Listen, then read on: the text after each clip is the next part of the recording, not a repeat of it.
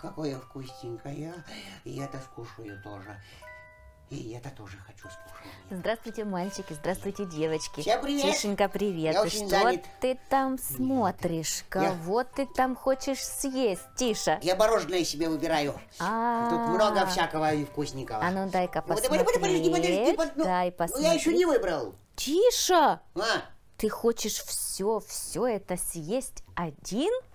а чего там есть? Ты что, не знаешь, что если много мороженого съесть одному, то можно заболеть?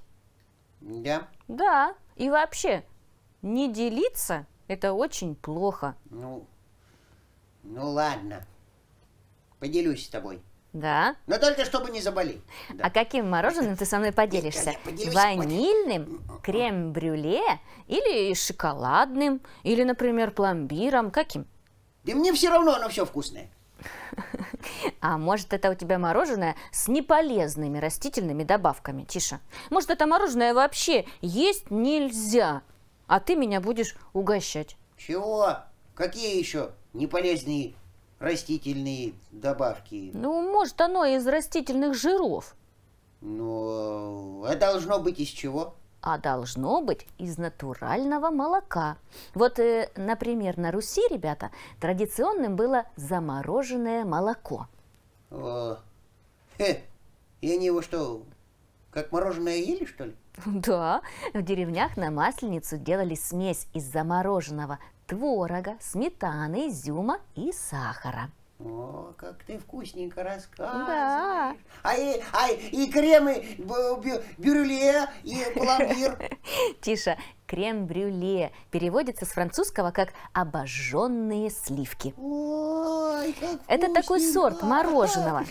Десерт из заварного крема с карамельной корочкой. Ой, ой, прям так захотелось мороженого. А пломбир? Не пломбир, Тиша, а пломбир. Пломбир – это тоже французское мороженое. Оно приготовлено из молока, сливок с вкусовыми добавками. Ваниль, шоколад, орех или фрукты.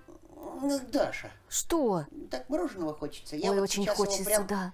с этого экрана и э, облизну. Тише, тише, тише. Нельзя есть мороженое с картинки. Ну, хочется. Тишенька, давай мы лучше мороженое приготовим сами. Вместе? Да, Ох, как только вкусненько. завтра. Ой, как интересненько. а как завтра? сейчас... Ну, Потому что сейчас пришла пора смотреть с ребятами мультфильм. Эх, без мороженого? С мороженым мы будем смотреть завтра. Ну ладно, потерплю. Чего уж там. Бай-баюшки, ребята. Баю-баюшки, мальчики и девочки. До завтра. Ну вот и начинается, ребята девчата Волшебная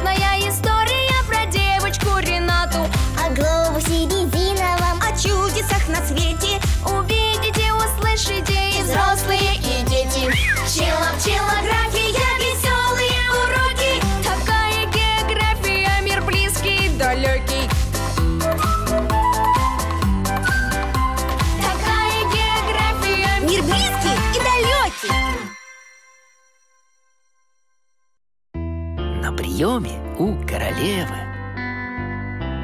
Ах, вот вы какие! Наслышана я о ваших полетах, приключениях. Знаю, что вы любознательные и веселые, но главное, у вас доброе сердце.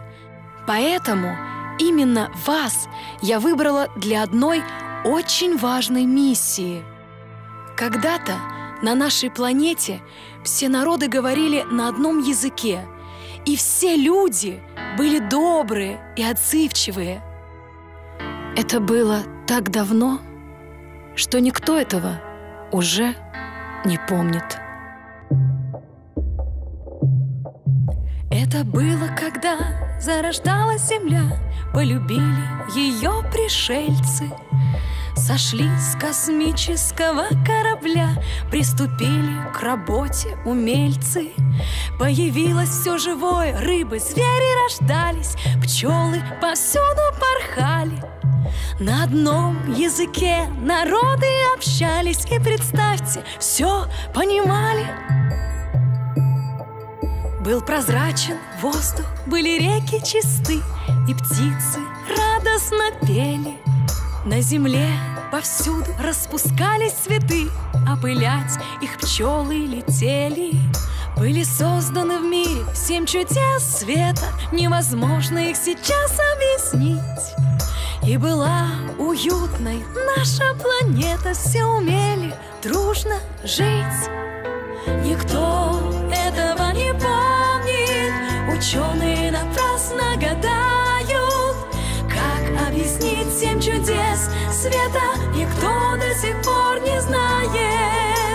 нравилось это большому злодею, Стал народы он разобщать. И на землю людям пороки посеял, А пришельцев стал изгонять. Перестали люди друг друга слышать, Перестали языки понимать. Было это послано злодеям свыше, Нужно злото расколдовать.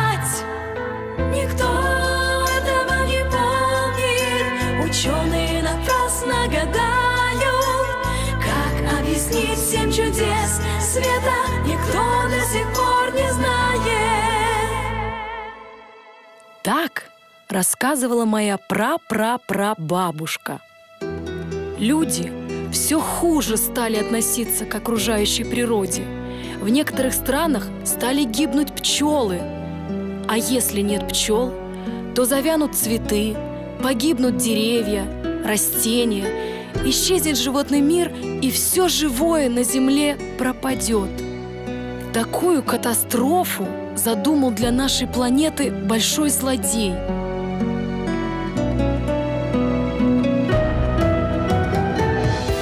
И была ожесточенная битва между добрыми пришельцами и войском большого злодея.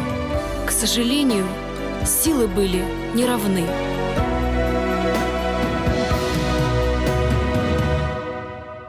тогда, прежде чем покинуть Землю, добрые пришельцы оставили в доме сказочника программу «Добрин-пониматель», которая поможет людям быть добрыми, снова понимать друг друга и на нашей планете еще чудесней зацветут сады. Но где же найти этот Добрин, пониматель? Известно только, что он находится в доме сказочника, а где его дом, никто не знает. И ваша задача – найти Добрин-пониматель и спасти человечество. Мы поняли задачу, Ваше Величество И отправляемся с Ренатой на поиски чудесного Добрина-понимателя